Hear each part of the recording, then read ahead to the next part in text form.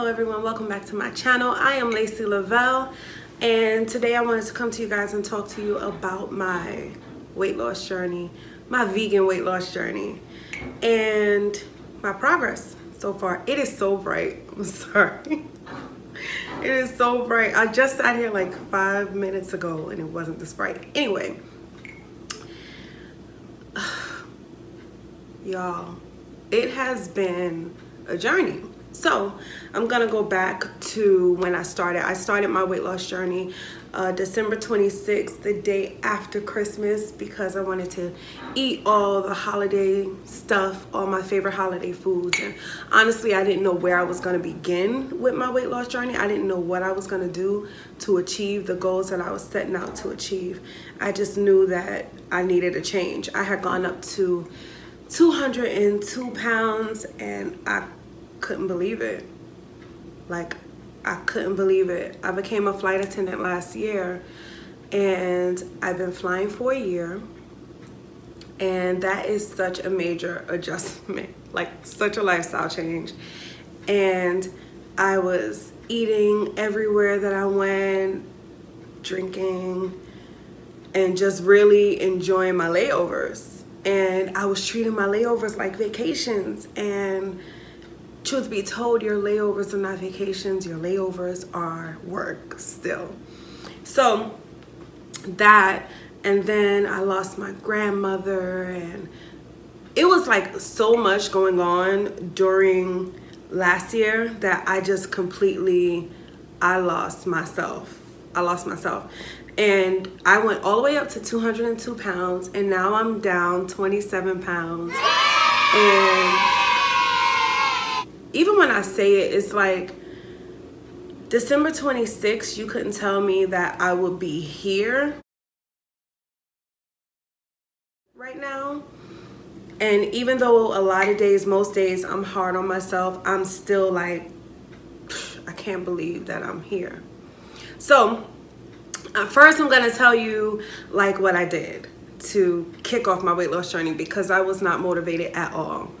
Um, I got down and I prayed and I was just like, God, I want change. And I don't know where to start. I don't know how I'm going to be successful. And I just pray that you would send me the inspiration, the encouragement, uh, the people that I need around me. Uh, educate me, help me. And I ask for joy along the journey, right? Because I was like, if I'm gonna do this and if I'm gonna be successful, it has to be fun for me.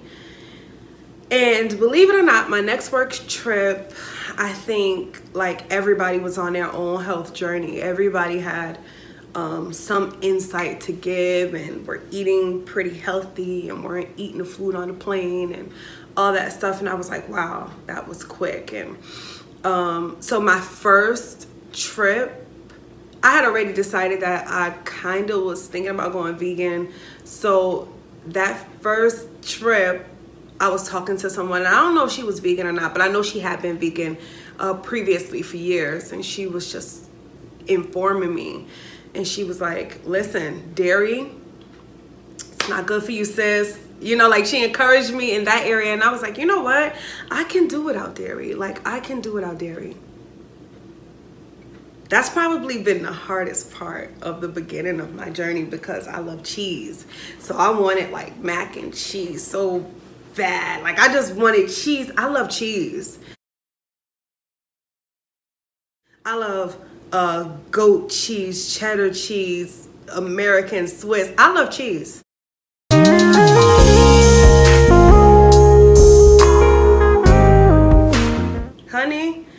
I was like, all right, all right, all right, all right, all right. I'm gonna do this though. I'm gonna do it. And okay, so I got rid of everything. Like literally, I became vegan overnight. And I wish I could remember this first young lady on YouTube that I saw.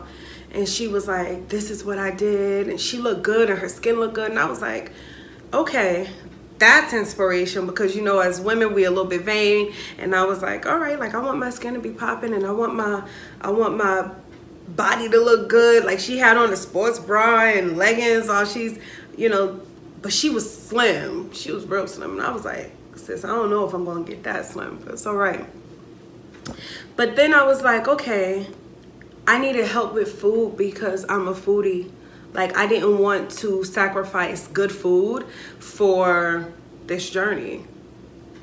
Like I wanted to still have those I was about to say orgasmic, but really good experiences when I eat something that's really good. Like, you know? So I ran across Rachel Ama. I don't know if it's Ama or Ama, but I think it's Ama. And y'all, that was the beginning of the end. I was like, man, look at all this food that she's creating. And then I ran across, um, oh gosh, I forgot her name. But she's also, also vegan. Oh man, I forgot her name. I'll slip it in if I if I remember her name. I'm so sad I forgot her name. But and then there's um gosh. Well, I'm forgetting everybody. Tabitha Brown. And then there's Tabitha Brown and I was like, you know what? Like there's these women out here and they're killing it and I wanted and this might sound crazy, but I wanted women that physically and like that look like me or come from a background like me that that come from fried pork chops, macaroni and cheese, candy yams, like collard greens, chitlins. I'm not a chitlin girl, but I mean like from family that eat like that, that transitioned into this lifestyle that could tell me like, sis, you can do it. And that encouraged me like out of this world. I thought this was gonna be a short video, but I'm guessing that it's not. So sorry. Um yeah, so I decided that okay, I need a community because nobody around me eats like this. So I went on Facebook and I found groups to be a part of where you know, people came from the same background as me. So I'm, you know, uh black and vegan uh, soul sisters, vegan soul sisters, where they were recreating the food that I was used to. And I was like, all right, like I can do this. And now I've been like making different meals, like especially when I want a comfort meal.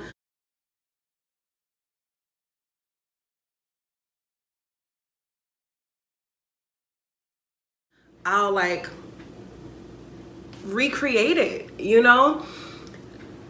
And before I knew it, like the weight started coming off. And of course, I wanted to look better in my clothes. You know, everybody wants to see it on the outside first. But then it became more so about feeling good in my body and eating things that make me feel good. You know, I have something on my um, fridge that says, uh, if I feel good, I look good. And um, I eat food that makes me feel good. And that's important. Like that, that's so important to me. And I, oh, I remember like one phase for me was um, energy. And this is gonna sound crazy. I don't know why I was on this whole wave, but this is what I was feeling. I'm like, when these animals are killed, you know, they're in agony, they're in pain or whatever. That energy is transferred to me when I eat it. I don't know, sis, but that helped me out. Because I was like, I don't need no more uh, of that energy. I don't need any more negative energy. I, I'm trying to be, you know, on up and up from here on out. So, um, that was one that was that was weird. I don't know why I threw that in there. But I was like, I need food that's gonna make me feel alive. I need food that's gonna make me feel great. I need food that's gonna make me look great. Um, Rachel Ama did a video on her skin when she took her makeup and stuff off and and she was doing a video and I'm like, damn, your skin looks so good because I go through rough patches with this skin.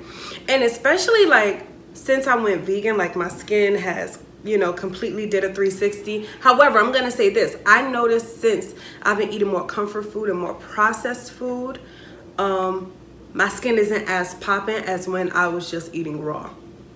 Cause at one point, y'all, I was just eating raw fruit, raw vegetables. Like I wanted it more than I wanted my next breath. It was I was hungry, uh, you know, for my results. And now wow, as I'm saying that, I'm thinking like maybe that's why I'm at a standstill because I've been 27 pounds down for like a month and a half. And it's like I've been maintaining um, where I am, but I haven't lost anymore in, you know, this quarantine. Like in the beginning of this quarantine, I had lost like another five to seven pounds or something like that. And now I'm just like at a standstill. And it's like, all right, I have to, I have to do something. So anyhow, I had given up, like I didn't have any rice in my house. Um, I had bread, but bread for my son to have like his peanut butter and jellies or whatever. But I, I went all in. Like the next morning, I was just like, mm-mm, I'm done. I'm, I'm done. I'm done. I just wanted it. I went and I signed up for the gym and then I was going to the gym every day. Like every day that I could go to the gym, I was in the gym. And not that I love him. Let me tell y'all what I what I did. I made a commitment to myself that I'm gonna go until I feel bad for not going.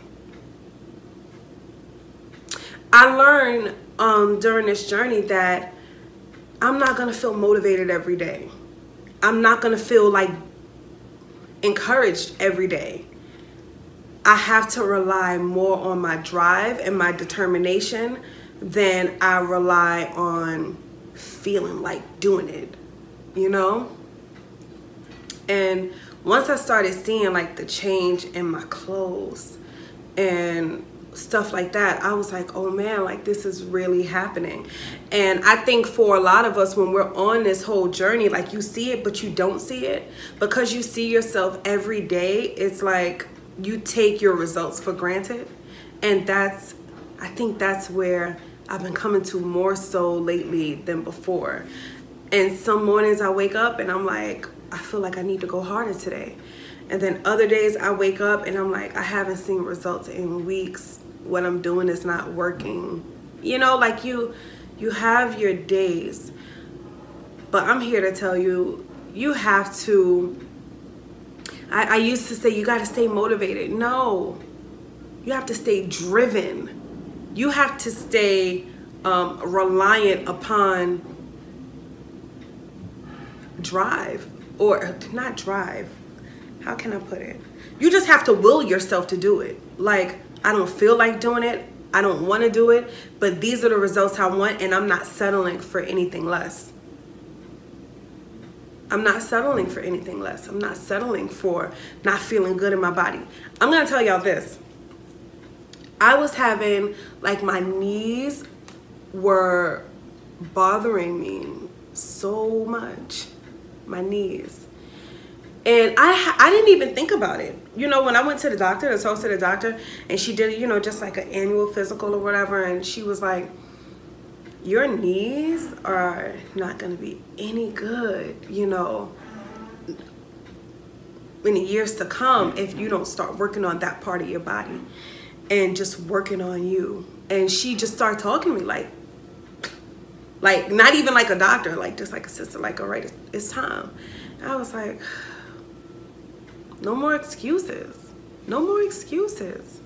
When I'm walking through the airport and trying to get through the airport, and I have, you know, I've had the, the little heels because it was so much weight on my knee and so much weight on my feet to be running through the airport in regular three inch heels. And I was like, I can't do that. And I'm like, I'm too young. I'm 33. You know, so I'm just working on it. So December 26th to now, I we're in quarantine, y'all. I can't even remember what today's date is. But like I won't give up. And neither should you. And I don't care if you only down five pounds, six pounds, seven pounds. It's progress. It's progress. And progress is progress. You know, I'd rather be here than where I was on December 26th any day. Any day. And I'm going to keep going. I just wanted to come and share that with you. And I think that I'm going to be sharing more about this journey to keep myself accountable. And if you want me to share some of my meals or whatever, I don't mind doing that. Thank you for watching this video. Don't forget to like, comment, and subscribe. If you have any questions, leave your questions in the comments below. I'll be sure to answer. Um, and hit that notification bell. If you want to hear more from me, see more of what's going on with me, stick around. Thank you for watching. Bye.